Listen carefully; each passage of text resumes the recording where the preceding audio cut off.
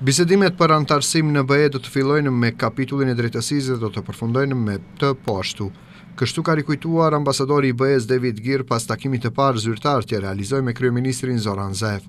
Ai vlerësoi përparimin e deritanishëm në reformat e brendshme dhe marrëdhëniet ndërfqinjësore, por apeloi që politikanët vendorë dhe institucionet të punojnë edhe më tej për arritjen e qëllimit strategjik, anëtarësimin e vendit në Bashkimin Evropian.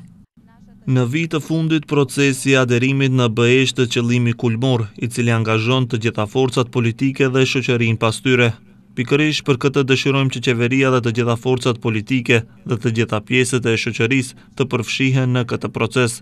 Nga ana ime ju bindi kryetar se delegacioni evropian dhe personeli i përkushtuar do të qëndrojë në anën e juaj, Vazhdimisht, do t'ju ndihmojë me resurse dhe ekspertiza, e gjitha kjo në emrin e qëllimit të përbashkët, që ta shohim Maqedoninë e Veriut si pjesë e BE-së. Shefi i ri i delegacionit të BE-së në Shkup është shprehur optimist se Unioni do të vazhdojë të sigurojë përkrahje dhe ndihmë për vendin në ballafaqimin me krizën me Covid nëntëmbëdhjetë.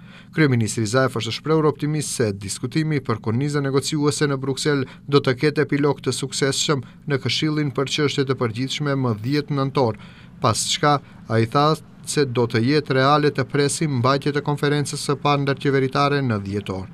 Zaev ka thënë se ky është një proces prej të cilit nuk ka më kthim mbrapa.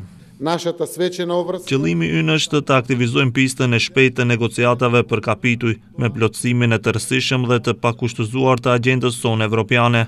Lidhur me neve, nuk do të lejojmë shkaqe për anulime të reja. Për ne është i pranueshëm parimi i ri për kthim të procesit nëse ndodh degradim të ambientit demokratik në vendin tonë.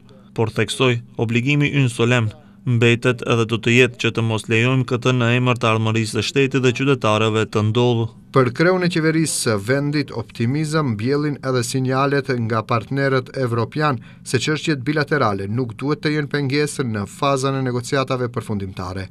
Ndërkaq duke folur për raportet me Bullgarinë, ai kujtoi se me këtë vend fqinj tani më jemi partner në NATO dhe shtoi se çështja e fundit do të zgjidhet në frymën e miqësisë dhe përmes dialogut.